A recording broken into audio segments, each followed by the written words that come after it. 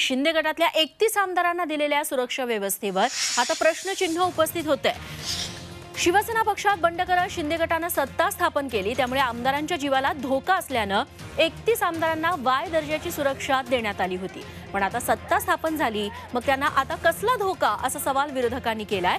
त्यामुळे ही सुरक्षा काढून घ्या अशी मागणी जोर आहे मात्र आमदारांची सुरक्षा सरकारची जबाबदारी असून त्यांच्या सुरक्षेला प्राधान्य देणार असल्याचं उत्पादन शुल्क मंत्री शंभूराज देसाई यांनी झी चोवीस तासशी बोलताना सांगितलंय.